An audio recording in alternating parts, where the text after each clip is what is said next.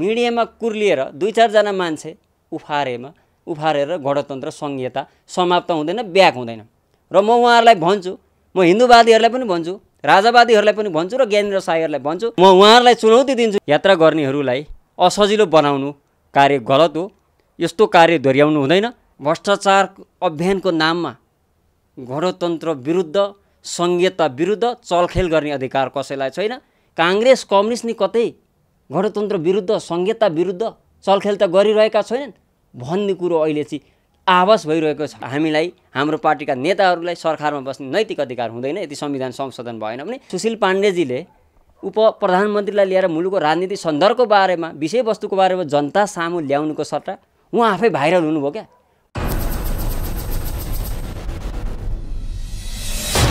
स्वागत छ हजुरलाई अनलाइन टिभी नमस्कार धन्यवाद सुषमा बहिनी लगायत यो अनलाइन टिभी परिवारलाई। हजुरको परिचय म रामप्रसाद रिजाल समाजवादी पार्टीको केन्द्रीय सदस्य तथा प्रचार विभाग सदस्यको रूपमा अहिले तपाईँको पार्टीमा कार्यरत भएको अवस्था हो वर्तमान। हिजोको घटना त बारे पक्कै पनि तपाईँले थाहा पाउनु भयो। अँ, थाहा भयो घटना। ज्ञानेन्द्र साई र पर्यटन मन्त्री भट्टराईको विषयमा तपाईँको धारणा चाहिँ के छ हिजोको हेर्दाखेरि? अब के छ भने यो देश कानुनी राज्य हो। कानुन सिस्टममा चल्छ। त्यो घटनाक्रम चाहिँ फेसबुकबाट मैले पनि हेरेँ र चाहिँ यसमा तपाईँको के छ भने केही कारणवश बालबाला मन्त्री उहाँको भनाइअनुसार हेर्दा केही ढिलो आएको देखिन्छ। र त्यसलाई चाहिँ एउटा इस्यु बनाएर मसाला बनाएर ज्ञानेन्द्र साईहरूले जुन किसिमको उडण्डको व्यवहार त्यहाँ एयरपोर्टभित्र देखाउनु भयो एउटा मन्त्रीलाई हामीले यस पोस्टलाई सम्मान गर्नुपर्छ चाहे जुनसुकै पार्टीको मन्त्री होस्। उहाँले जुन तल्लो स्तरले त्यो कु- कुरोलाई आफूले चाहिँ तल्लो स्तरले त्यहाँ गाली गर्ने कराउने मन्त्रीलाई चाहिँ अब पुरै तपाईँको एउटा चाहिँ मन्त्रीको मन्त्रीको मर्यादा विपरीत एउटा चाहिँ उहाँले चाहिँ त्यहाँ चाहिँ आफू भाइरल हुने तरिकाले जुन किसिमको त्यहाँ चाहिँ कुराकानीहरू उहाँले गर्नुभयो अराजक ढङ्गले र त्यसले गर्दा के छ भने त्यति मात्र होइन उहाँले फेसबुकबाट पनि फेरि त्यो कुरोलाई हाइलाइट गरेर र त्यसलाई फेरि सञ्चार माध्यमबाट पनि उहाँ चाहिँ त्यो एउटा विषयवस्तुलाई एउटा इस्युलाई सामान्य कुरोलाई ठुलो बनाएर जुन किसिमको एउटा अराजकता उडन्त र यो मुलुक गणतन्त्र सङ्घीयता धर्मनिरपेक्षताबाट ब्याक हुने अवस्था छैन। बैसठी त्रिसठी सालको जनआन्दोलन मधेस आन्दोलन माओवादी विद्रोह लगायत ठुलो त्याग र तपस्या र बलिदानबाट आएको गणतन्त्रको विरुद्ध ज्ञानेन्द्र साई लगायतको टिम नेपालको लागि नेपाली अभियन्ताको नाममा ज्ञानेन्द्र साई डक्टर सुरेन्द्र केसी सुरेन्द्र भण्डारी बालकृष्ण नेउपाने लगायतले यो गणतन्त्र सङ्घीयताको विरुद्ध उहाँहरूको गतिविधि छ। यो गतिविधिलाई राज्यले नियन्त्रण गर्न आवश्यक छ। किनभने यो मुलुक अब गणतन्त्र सङ्घीयता धर्मनिरपेक्षताबाट ब्याग हुने अवस्था छैन र मैले जोड दिन खोजेको कुरो के हो भने पर्यटन मन्त्रीकै कारणले प्लेन केही ढिलो उडेकोमा उहाँले माफी मागिसक्नु भएको छ। यो कुरो गलत हो। कसैको कारणले प्लेनलाई अथवा त्यहाँ भनौँ न प्लेनमा चाहिँ अब त भनौँ न त्यहाँ यात्रा गर्नेहरूलाई असजिलो बनाउनु कार्य गलत हो। यस्तो कार्य दोहोऱ्याउनु हुँदैन। तर कसैले कानुन आफ्नै हातमा लिएर बहालवाला मन्त्रीलाई सबैको अगाडि जुन किसिमले दुर्व्यवहार गरिएको छ यो आपत्तिजनक छ। म हाम्रो पार्टी सरकारमा भए पनि नभए पनि यो कुरो एउटा आपत्तिजनक कुरो भन्छु म यसलाई। भनेपछि उहाँलाई त हिजो हिजो समाति लिएर गएको थियो भने आज चाहिँ रिहा पनि गरिएको छ। मुख्य कुरो के हो भने यो मैले अघि पनि भनिसकेको छु ज्ञानेन्द्र साई लगायतको टिम नेपालको लागि नेपाली अभियानको नाममा यो मुलुकलाई अराजकतातिर लैजान खोजिरहेका छन्। यो गणतन्त्रलाई यो सङ्घीयतालाई मैले भने गणतन्त्रमा समस्या होला सङ्घीयता कार्यान्वयनमा समस्या होला कमजोरी होला एउटा नेपाल कम्युनिस्ट पार्टीको नेतृत्वको सरकारले काम गर्न नसकेको होला। कमजोरी होलान्। यो मुलुकमा भ्रष्टाचार छ। यो मुलुकमा अप अपराधिक क्रियाकलापहरू बढिरहेको छ। तपाईँको द्वन्द्वहीनता बढिरहेको छ। भन्दैमा यो हिजो पञ्चायती व्यवस्थामा पनि थियो नि। भ्रष्टाचार। तपाईँको लुटतन्त्र त हिजो पनि थियो नि। मैले जोड दिन खोजेको कुरो के छ भने यो गणतन्त्रका कमजोरीहरूलाई समाधान गर्नुपर्छ। सरकारले गरेका गल्ती कामहरूलाई कमजोरीहरूलाई सच्याउनु पर्छ नेताहरूले गरेका भ्रष्टाचारका कामहरूलाई जनताको सामु ल्याउनु छ आवश्यक छ। तर भ्रष्टाचार अभियानको नाममा गणतन्त्र विरुद्ध सङ्घीयता विरुद्ध चलखेल गर्ने अधिकार कसैलाई छैन।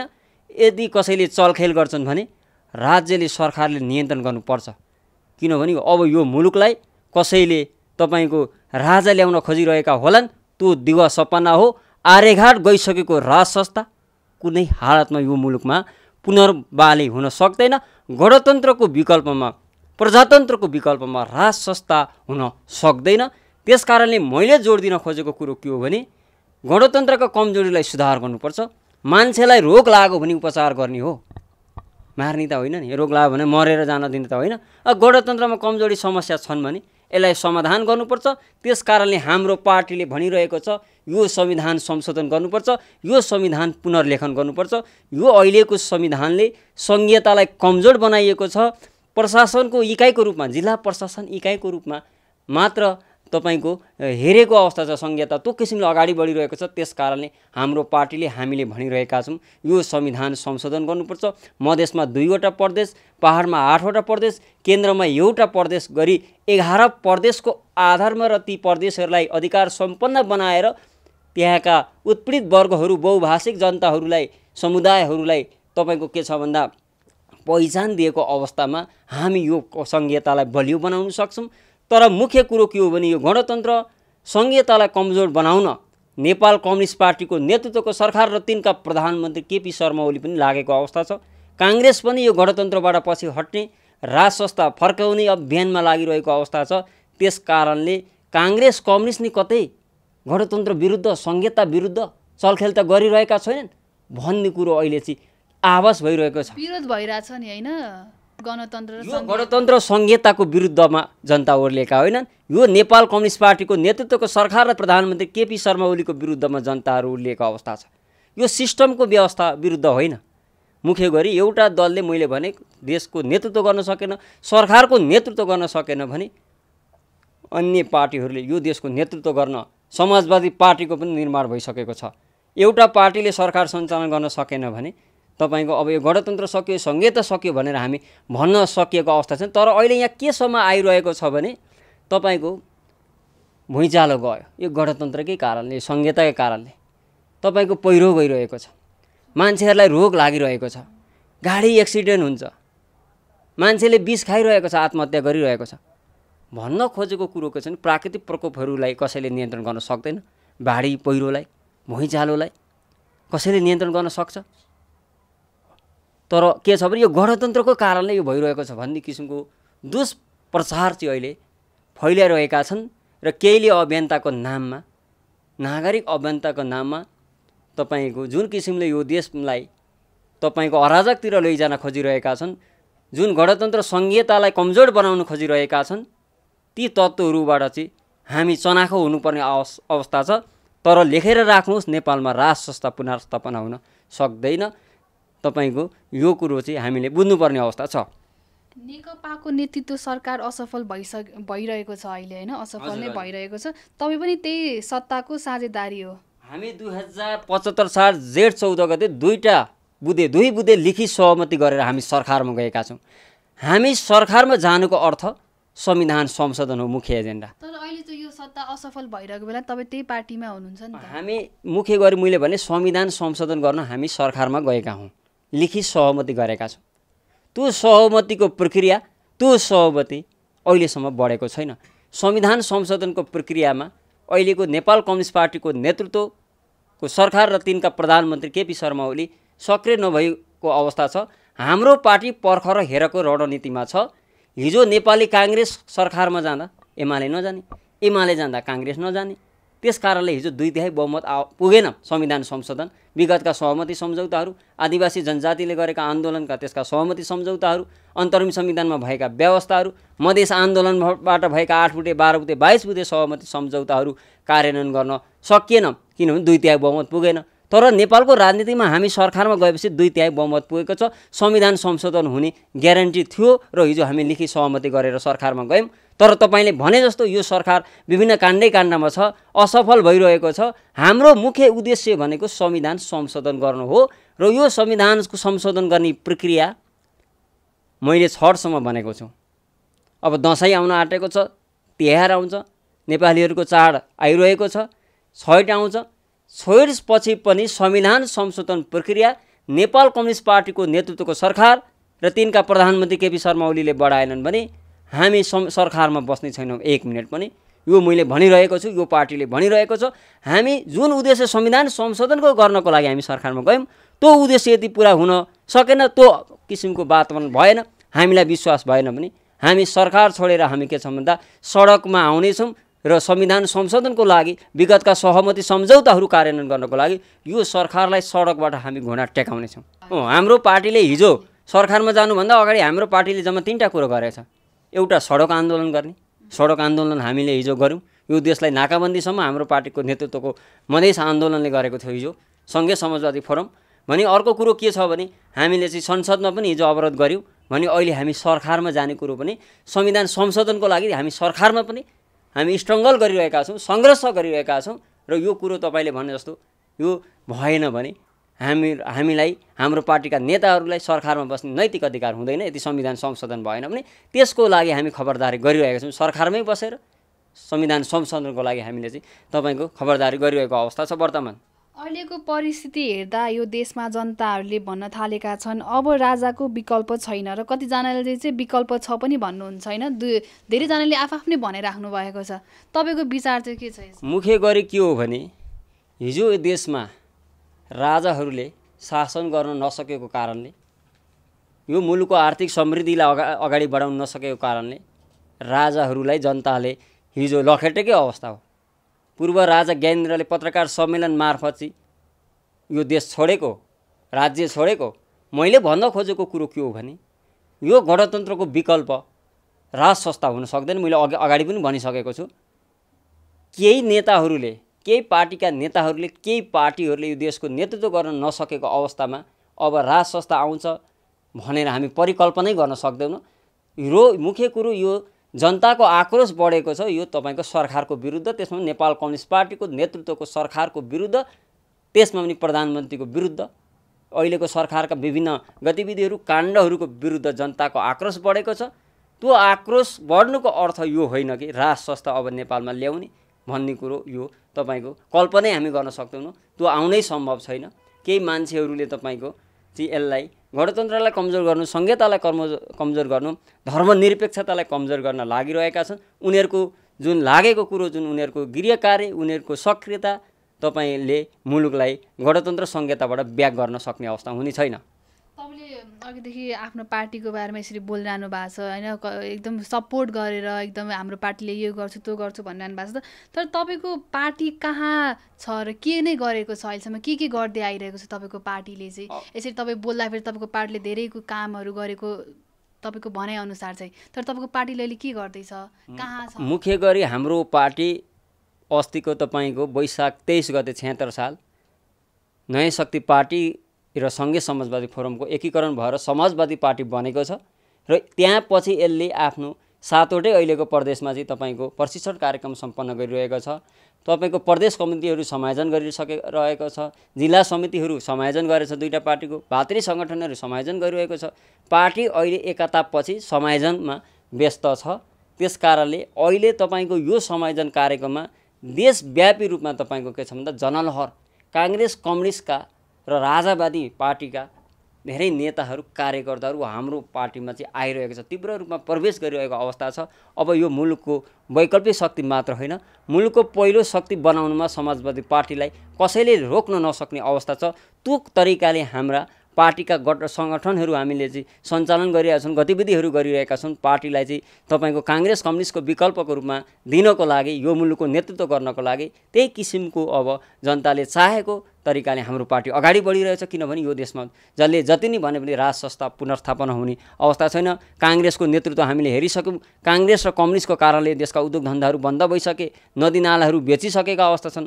काङ्ग्रेस र कम्युनिस्टले त्यस कारणले अब यो देशलाई नेतृत्व गर्ने विकल्पको रूपमा वैकल्पिक शक्तिको रूपमा पहिलो शक्तिको रूपमा आगामी निर्वाचनदेखि समाजवादी पार्टी अगाडि आउनेछ। त्यो किसिममा हाम्रा गठन सङ्गठन निर्माणको कार्यमा हामी अहिले तीव्र रूपमा अगाडि बढिरहेको छ पार्टी।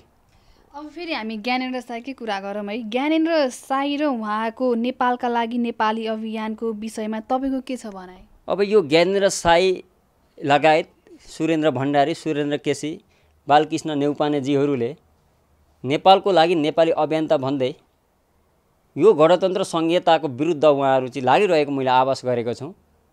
उहाँहरूले उहाँहरू पनि कहीँबाट सञ्चालित हो। उहाँहरूको मुख्य उद्देश्य भनेको तपाईँको यो गणतन्त्रलाई कमजोर बनाउने र यो देशमा राज संस्था फर्काउने रणनीति हो।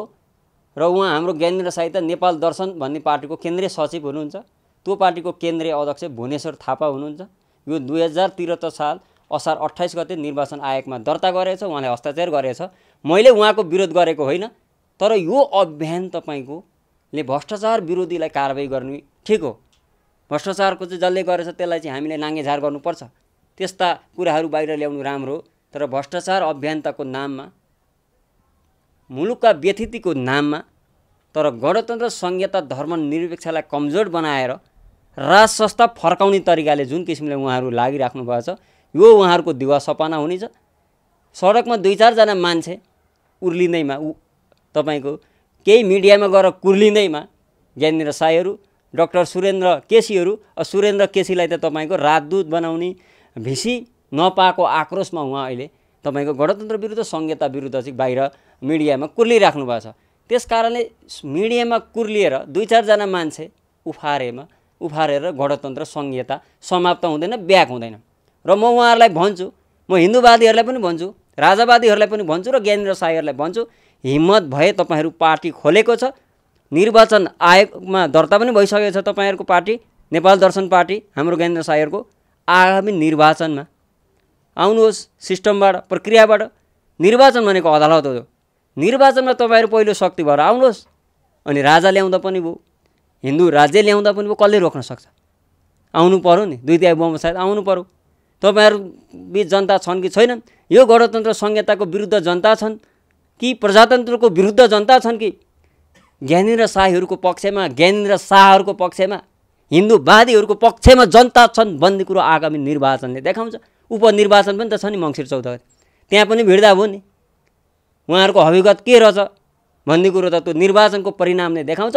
निर्वाचनको परिणामलाई हामीले मान्नुपर्छ। यदि निर्वाचनको परिणामबाट हिन्दू राज्य नै ल्याउने किसिमको जनमत आयो राजस्वस्तै ज आउने जनमत आयो भने त्यसलाई हामीले मल्टिपार्टी सिस्टममा प्रजातन्त्रमा गणतन्त्रमा हामीले स्वीकार्छौँ। र म उहाँहरूलाई चुनौती दिन्छु यो तपाईँको लोकप्रिय टेलिभिजन अनलाइन टिभीबाट ज्ञानेन्द्र साई लगायतको नेपाली अभियन्ता र पूर्व राजा फर्काउने हिन्दूवादी सङ्घ संस्थाहरू राजावादीहरूलाई आगामी निर्वाचनकोमा आउनुहोस् जुत्नुहोस् र तपाईँको पहिलो शक्ति जनताको मत लिएर चाहिँ तपाईँको चाहिँ के गर्नु पऱ्यो राजा ल्याउनुहोस्। तपाईँको तपाईँहरूको शासन ल्याउनु पऱ्यो नि त जनताको मतबाट। तर भाषणमा दुईवटा दुई चारवटा मिडियामा कुर्लिएर रत्नपातमा कुर्लिएर दुई चारजना दुई चार सौ मान्छेमा बोल्दैमा तपाईँको के छ भने यो गणतन्त्र संहिता धर्मनिरपेक्षको विरुद्ध जाने अधिकार कसैलाई छैन। ज्ञानेन्द्र साई लगायत र उहाँको टिमले चाहिँ पर्यटन मन्त्री योगेश भट्टराईको राजीनामा माग गरिरहेका छन्। अब एउटा कुरो ज्ञानेन्द्र साई र यो नागरिक अभियन्ताको जुन टिम छ नेपालको लागि नेपाली अभियन्ताले योगेश भट्टराईलाई मन्त्री बनाएको हो। मन्त्री बनाउने कुरो निकाल्ने कुरो वैधानिक छ। संसदले बनाएको उहाँलाई। अहिलेको सरकार कहाँबाट निर्माण भएको संसद? त्यो संसद कहाँबाट निर्माण भएको भन्दा जनताबाट निर्वाचित हो। हामीले मानौँ नमानौँ। नेपाली जनताले भोट दिएर। त्यस कारणले ज्ञानेन्द्र साईले भन्दैमा ज्ञानेन्द्र साईको टिमले भन्दैमा युएस भट्टराईले मन्त्रीबाट राजीनामा दिने कुरो यो कुरो गलत कुरो हो। र कसैले माग्दैमा राजीनामा दिने कुरो किनभने ज्ञानेन्द्र साईले बनाएको हो। ज्ञानेन्द्र साईको टिमले बनाएको हो योगेश भट्टराईलाई मन्त्री। मैले जोड दिन खोजेको कुरो सिस्टमले हुन्छ नि त। भोलि मलाई कुनै मान्छे मन पर्दैन मैले राजीनामा दिएँ भन्दा राजीनामा दिइराख्ने कुरो हुन्छ। त्यसो भयो भने त भोलि तिन करोड मान्छेले नेपाली जनताले चाहिँ फलाना मन्त्री राजीनामा दिए भन्लान् अर्कोले फलानु मान्छेलाई चाहिँ राजीनामा दिए भन्लान्। भने यो देश विधिको शासन हो विधिको शासनमा चल्छ सिस्टममा चल्छ। यो लोकतान्त्रिक व्यवस्था हो। त्यस कारणले कोही कुर्लिँदैमा कसैको राजीनामा कसैलाई माग्ने अधिकार छैन मागेर पनि हुँदैन। र राजीनामा कसले माग्न सक्छ भन्दा? तपाईँको संसदले उहाँको राजीनामा माग्न सक्छ। भोलि उहाँले राम्रो काम गर्न सकेन भने प्रधानमन्त्रीले गर्न सकेन ती संसदले हटाउन सक्छ नि। भोलि त्यही नेकपा एमाले अहिलेको नेकपाकै सांसदहरूले पनि हटाउन सक्ने अवस्था हुन्छ। किनभने अहिलेको सरकारका प्रधानमन्त्री केपी शर्मा ओलीको कार्यशैलीप्रति नेकपा पार्टीभित्रै तीव्र असन्तुष्टि छ। यति गुट उपगुटमा अहिलेको नेपाल कम्युनिस्ट पार्टी तपाईँको रुमलिएको छ गुट गुटमा विभाजन भएको छ। र मुख्य कुरो के हो भने अहिले तपाईँको यो तपाईँको के छ भने यसरी राजावादीहरू सल्भाइरहेको अवस्था छ गणतन्त्रमाथि आक्रमण भइरहेको अवस्था छ। त्यस कारणले नेपाल कम्युनिस्ट पार्टीका नेता लगायत राजनीतिक दलका नेताहरूलाई तपाईँको यो मुलुकमा रहेका समस्याहरू मुलुकमा रहेका भ्रष्टाचारहरू बेरोजगार समस्याहरू यो मुलुकमा भएका कुप्रथाहरू कुसंस्कारहरूको अन्त गर्नको लागि अब हामीले पार्टीभन्दा जातिभन्दा माथि उठेर लाग्नुपर्ने अवस्था छ। यदि अहिलेका नेतृत्व गर्ने दलहरूले सरकारको नेतृत्व गर्ने दलहरूले अब र अन्य पार्टीहरू राजनीतिक पार्टीहरू जो संसदमा छन् ती पार्टीहरूले पनि यो जनताको आक्रोशलाई पनि के गर्नु समाधान गर्ने तरिकाले मुलुकलाई सुशासन समृद्धि आर्थिक समृद्धि लगायत यो मुलुकमा रहेको समस्याहरूलाई समाधान गर्ने किसिमको भूमिका चाहिँ खेल्नुपर्ने अवस्था छ। तपाईँ र ज्ञानेन्द्र साई बिच त एक टाइम त चर्का चर्की नै बहस भएको थियो होइन? अब ज्ञानेन्द्र साई र मेरो एभरेस्ट नेपाल टिभीमा बहस भएको थियो। त्यो बहस चाहिँ विशेष गरी अहिलेका माननीय उप प्रधान तथा स्वास्थ्य मन्त्री हाम्रो पार्टीका केन्द्रीय अध्यक्ष उपेन्द्र यादवजीलाई एबी न्युजका पत्रकार सुशील पाण्डेले जुन किसिमले दुर्व्यवहार गर्नुभयो अतिथिलाई बोलाएर जानुहोस् जानुहोस् भनेर तपाईँले त्यहाँबाट चाहिँ मञ्चबाट निकालेको अवस्था छ। बालबाला उप प्रधानमन्त्रीलाई चाहिँ दुर्व्यवहार गरेको अवस्था छ। पत्रकार आचार संहिता विपरीत। उहाँ चाहिँ आफै भाइरल हुनुभयो। पत्रकारिता म पनि पत्रकार हो। मैले लामो समय पत्रकारिता काठमाडौँमा पनि गरेँ। मिडिया गुरु नेपालको म प्रोग्राम चेयरम्यान पनि थिएँ। पछि मिडिया इन्ट्रेक्सन नेपालको केन्द्रीय अध्यक्ष र दर्जनभन्दा बढी मैले दैनिक पेपरहरूमा समाचार पनि लेखेँ रिपोर्टरको भूमिकामा। र पत्रकारिता मैले ट्रेनिङ लिँदा एउटा कुरो सुनेको थिएँ सिकेको थिएँ। A dogs bites a people that is not news but a people bite dog that is news कुकुरले मान्छेलाई टोको भने समाचार हुँदैन अरे। तर मान्छेले कुकुरलाई टोक्दैन भने त समाचार हुन्छ अरे क्या। अब ज्ञान त्यहाँ सुशील पाण्डेजीले उप प्रधानमन्त्रीलाई लिएर मुलुकको राजनीति सन्दर्भको बारेमा विषयवस्तुको बारेमा जनता सामु ल्याउनुको सट्टा उहाँ आफै भाइरल हुनुभयो क्या। कुकुरलाई मान्छेले टोक्दै भाइरल भयो जस्तो उहाँ भाइरल हुनुभयो। त्यो विषयमा ज्ञानेन्द्र साई र मेरो त्यहाँ बहस भयो। सरकार चर्की भयो। र त्यहाँ पनि उहाँले गणतन्त्र संहिता धर्मनिरपेक्षको विरुद्ध बोल्नुभयो उहाँले। र यी नागरिक अभियन्ता जुन छन् नेपालीको लागि यिनीहरूको मुख्य काम भनेको गणतन्त्रलाई कमजोर बन्नु। यो व्यथितिको अन्त गर्नु त सबैको भूमिका हुनुपर्छ। भ्रष्टाचारको अन्त गर्न हामी पनि छौँ हामीले पनि भ्रष्टाचार हुनु हुँदैन।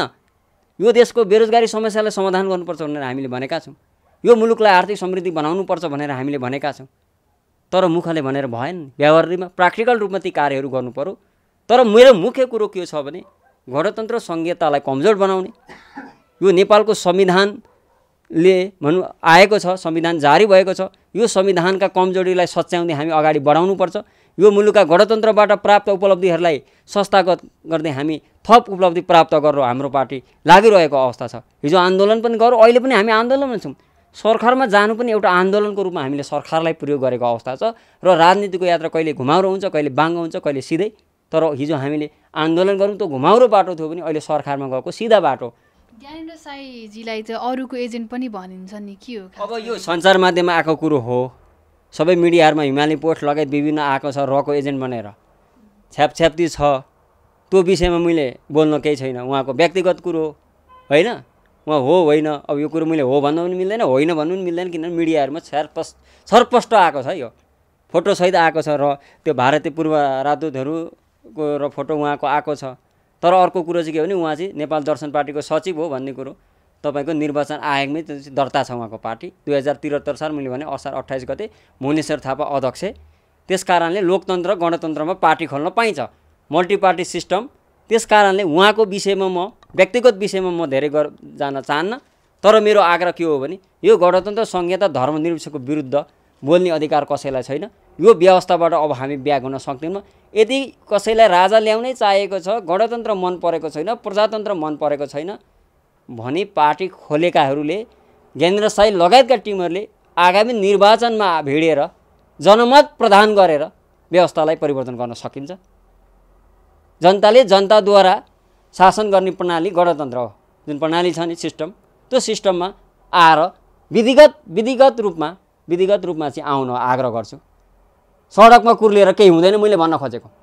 अराजकता मच्याएर विधिको शासनभन्दा बाहिर जाने अधिकार कसैलाई छैन। हामी कानुनी राज्यमा छौँ कानुनको सबैले पालना गर्नुपर्छ। ज्ञानेन्द्र साईजीले पर्यटन मन्त्रीलाई चाहिँ होइन दुर्व्यवहारै गरेको मैले त्यो भिडियो हेर्दा दुर्व्यवहार भन्छु एउटा बहालवाला मन्त्रीलाई केही कारणवश मन्त्री ढिलो आइपुगे त्यो गलत कुरो हो सर्वसाधारणलाई त्यसले समस्या परो त्यो कुरोलाई हामीले मान्नुपर्छ।